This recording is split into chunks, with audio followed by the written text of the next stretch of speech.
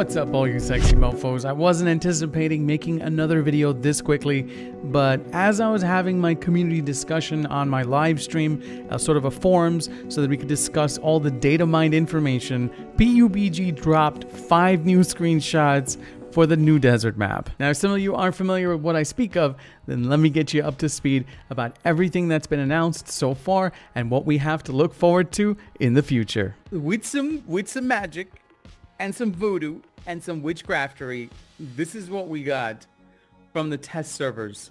Somebody data mined all the files uh, from tsl games and they were actually able to extract the future because this is the future So I want to quickly go over some of the stuff, the facts that were data mined right out of the TSL 1.0 PC patch on the test servers. First off, we got a real high-end resolution of the desert map, and it looks rich. I mean, full of real estate all over the place, trees, forest areas. We have three bridges to contend with, not to mention a whole lot of new cities where everything looks different. The buildings are different. We've got construction areas, uh, maybe even access to different kinds of elevators or staircases on the sides of these construction buildings. But again, that is an optimization issue. We don't really know if we're going to have access to these upper level floors of these buildings, but I'm going to talk about the optimization of the game and the future of the optimization a little bit later in the video. We also discussed how this map is going to affect gameplay and how it's going to be a game changer when it comes to final circles because of the fact that there is so much real estate. I really, really hope that PU uh, puts in bullet penetration at some point because it's just going to be a camper's game when it comes to this particular map. We drew out many random circles all throughout the map, say for a final circle, and there was always some piece of land that had real estate in final circle. I'm just gonna close my eyes and just draw a circle. You can see that that no matter where we pick a final circle, there's going to be plenty of real estate for for people to hide in. I would say 80 to 90% of the time, unless it's a water circle, you're going to run into campers that are hiding in buildings. the slums over here are the same metal shacks, and there's there's trees everywhere. There's trees. There's cacti. You can see the cacti right there, and this is what we're looking at right there. That is kind of what we're looking at right there, and you can't see the trees, but they're there. And that's why I'm talking about bullet penetration. And there's a lot of these little slum-like little houses scattered all over the map. And it would be amazing if we could actually destroy the tin shacks with maybe a 7.62 round or a 5.56 and we could get some bullet penetration in there to kill the people that are camping inside the little slum houses. Maybe it's just me and I've been spoiled with Arma 3. But I would really like to know what you guys think, uh, whether or not bullet penetration needs to be implemented into the game before the desert map even comes out. Here's my only thing with the desert map. I hope that they give us more than just eight circles because it's such a big map. And that's what I wanted to talk about next, is that the map is definitely confirmed to be 8 by 8 kilometers by Player Unknown himself. and it's bigger than people think. So most people think it's four by 4 Mm-hmm. and it's actually eight by eight. It's 8 by 8 still. yeah. Okay, so I did hear when you first talked about it, I thought someone said it would be smaller.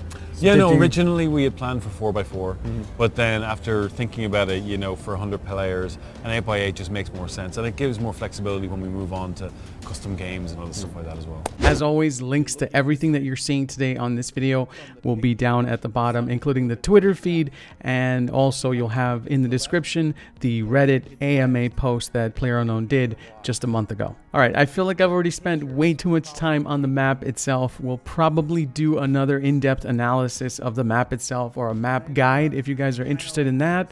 Leave a like on this video and let me know in the comments below whether or not you want to see that. At the end of the year, the map will be released along with vaulting, and I'm assuming the game will be finally out of early access and we'll get a full complete game. Also, if you haven't seen the vaulting video that I made along with the entire patch, the 1.0 PC patch, there'll be a little icon that'll pop up right now. We can click on it and you can look at all the notes that I've described in that video for the entire patch. Moving on, let's quickly talk about the new vehicles that were data mined out of the test server. We've got two new vehicles, including the one that we already knew about on Twitter, the Volkswagen uh, Beetle van. The old Volkswagen van, uh, which is it's so it's so ugly, but it's so cute. It's like a pug. It's ugly, but it's cute. Um, who knows? Maybe we'll be able to squeeze in like six or seven people in here. when you're doing six, seven, eight man squads on custom servers, it's an I, I think that it's a van. You should be able to fit at least more than four. At least six. Honestly, this is all just speculation at the moment, but the best thing that was data mined is this goddamn off-road. You guys already know we hold the best driver NA title, and I have a feeling that once this off-road is implemented, if it is, we'll hold the title of best flipper NA as well, because this looks like it can flip very, very easily. DP, oh my god, I, I, I'm set.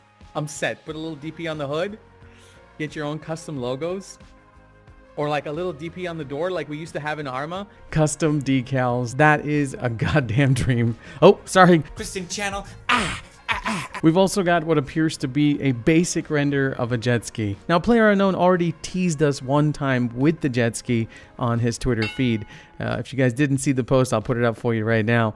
And as far as the actual render itself, it's not complete. It does look pretty basic. I call this the clog. Now, obviously, that's not what the end product is going to look like. They're going to use some voodoo and magic as always, and uh, we're going to have some color and better textures for the jet ski and everything. But I feel like this is going to be one of the fastest vehicles in the water. Uh, probably uh, compare it, the best comparison I can come up with is the bike, and uh, maybe one more way for you to kill your teammates in the game. All right, I want to talk briefly now about the gun that was also data mined from the test servers, the DP28. Now, it looks like it's going to come standard with the bipod. It's the Russian counterpart of the M249. It was actually used in World War II, and the magazine that this gun has is pretty awkward. It's like a giant dinner plate on top of the gun. It also throws off the balance of the gun. So I don't know how this gun's to fire or how accurate it's to be at longer distances, but the fact that it's to be chambered in a 7.62 round and will probably end up with about 50, maybe more than 50 rounds, it's definitely going to be a home wrecker, especially if they put in bullet penetration. This thing should be able to destroy any of those slum buildings that we talked about earlier. A lot of people are already speculating that it's going to be a common spawn, but I really hope that's not the case. I hope that this LMG stays in a crate because we definitely need all the diversity that we can get out of crates. That random factor of what you're going to get in a crate is part of that adrenaline rush. They're on a new website called skin-tracker.com, PUBG, and this is the data mined uh, skins right here. I'm to leave a link in the description also for the skins tracker website for you guys that took the time to 3D render and data mine all of these different skins that you can actually look at and play around with. There were a few really cool ones that actually stood out like the jacket with the hoodie, uh, black option, a white option. Now my guess is as good as yours. I'm thinking that these will be part of a set like they did with the Gamescom crates, uh, the little banana suits and the black outfits, the schoolgirl outfits. So I'm assuming it's probably going to be like a special event that they're going to hold where all these outfits are going to be revealed.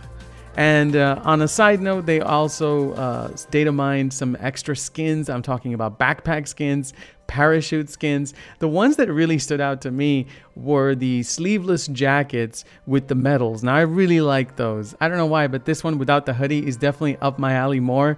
And uh, I'm going to be looking forward to opening some crates, hopefully to get that outfit with the medals and everything. It's a really dope looking outfit. All right, I feel like I need to wrap this video up. I've already been yapping for way too long. I wanted to end the video by talking about some optimization stuff, some things that Player Unknown talked about in the AMA, confirmations on what is fact and what is fiction, and what to expect in the future. Now, mind you, I'm going to try to paraphrase as much as possible.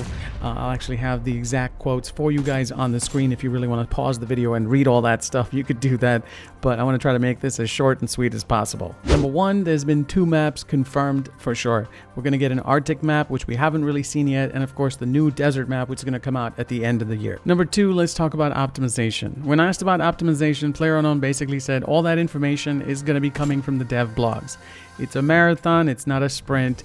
So I guess in, in one way or another, he's just saying, hey, be patient. It's number one on the agenda. We're working on it. We want people to have these big sort of firefights in big cities and stuff. But that sort of stuff takes a lot of time and patience, and optimization is coming but um, I guess how these cities will render and what parts of the cities that we'll be able to loot and how many buildings we'll be able to go in is, is basically all part of optimization. So they're working on it, and I think that that's on top of their list, and that's great to know. Number three, this is probably the most asked question that I get when it comes to bullet penetration is that are they going to have bullet penetration in water? And the answer to that is obviously yes. They are working on it. Uh, not sure when it's going to be released, but even if they gave us like a small option for maybe one specific gun, like an SDAR, something that can work in water for us, that would be amazing. It would definitely change the dynamic of firefights uh, up and around watered areas. And as far as bullet penetration for houses, doors, door frames, window sills, iron bars, metal bars, I've talked ad nauseum about all that stuff. Hopefully, they'll implement that in the future and we'll be able to take out campers without even going inside the house. Number four, more servers are definitely coming to an area near you. If you ask me, there definitely needs to be a whole lot more servers. Uh, we've had a lot of crossover here happening lately from the Asian servers. A lot of them are playing on North American servers. And I, I just feel like maybe add a few more servers to the center of the map. I'm talking about the Middle East, uh, North Africa, South Africa, even. Number five, this is also one of the most asked questions that I get is there going to be a nighttime mode? And I think that PU basically spelled it out for us, saying that they've already tested that and it looks pretty good. So if they've tested it and it's already been, you know, implemented somewhere on a test server, that we're probably going to see it in the future. So I think that's a big yes from PUBG. Although if night servers are a thing, I really hope that they implement some night vision as well, because that would be freaking amazing. Except maybe, you know, just put the night vision in crates. Number six, UI and UI settings. Now I already showed you guys some of the new UI options that are going to be coming out in the 1.0 PC patch at the end of the year, along with vaulting but I honestly I would really like to see some more customizations as far as the UI is concerned and people being able to sort of free float where the health bar sits or uh, having a different option uh, for the mini map and not have it sit on the bottom right side but maybe be able to move it around as well. So I'm really looking forward to that and being able to customize your very own personal settings and having sort of a different UI than anybody else would be amazing. Number seven, modding. I remember seeing an interview a very long time ago when the game first came out of uh, Player Unknown actually saying, hey, we're definitely going to have modding in the game. It's been confirmed and he's looking for the next Player Unknown. Number eight, solo kill cams. Now I'm thinking that this is probably in the distant future, but it has been confirmed that we will be able to have a kill cam of who killed us, but that'll only be available in solo matches. Of course, it'd be cheating if it was in duos or squads. Number nine, which you've already seen, the vaulting. It's coming. Just have to wait till the end of the year, I guess, till it's all here. And last but not least, number 10, we're definitely confirmed on the weapon skins as well. We're going to be having some new weapon skins coming out, uh, along with backpacks and parachutes and I guess anything and everything you can think of. Well, that's it. The whole enchilada and all the new game news that you could possibly digest about PUBG and I really hope and pray that I don't have to make another one of these till probably next year because a lot of you are just asking me and hungry for information about the game, all the new stuff that's going to happen, and the game news in general. So this will probably be the last video for this type of format till the end of the year. Hope you guys enjoyed the video and if you did, if you appreciate the dedication that I put into these videos and getting all the information for you guys, the Reddit posts, the videos, the interviews, please be sure to leave a like and share it with your friends. Let's see if we can get this video up to at least 500 likes. Thank you so much for watching guys. As always, stay strong and I'll see you